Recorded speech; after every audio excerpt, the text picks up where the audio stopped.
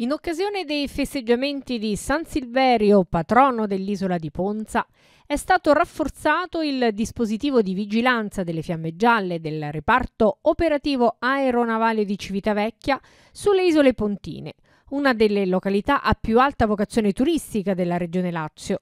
L'attività si protrarrà fino a settembre inoltrato. Come ogni anno nel periodo estivo le isole pontine sono meta di moltissime imbarcazioni da diporto e di numerosi vacanzieri, attratti dalle bellezze naturalistiche di questo splendido arcipelago di origine vulcanica. L'affollamento, o meglio il sovraffollamento, crea spesso non pochi problemi sia all'ordine pubblico in mare sia al regolare svolgimento di tutte le attività dell'economia legale connesse alla Blue Economy, alla nautica da diporto ed in particolare alle attività di noleggio. Quest'ultimo è un settore economicamente florido ma anche ad alto rischio di evasione. Giova ricordare che la normativa in materia, in linea di sintesi, prevede tre istituti.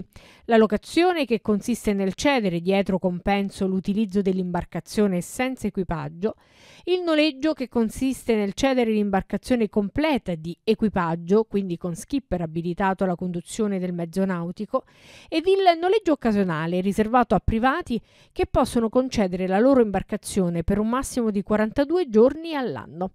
I proventi da riportare portare nella dichiarazione dei redditi dell'anno successivo sono assoggettati ad un'imposta sostitutiva del 20% oppure alle liquide IRPEF vigenti. L'evasione fiscale è uno dei maggiori problemi del nostro paese, conclude il comandante del ROAN di Civitavecchia, il colonnello Camillo Passalacqua.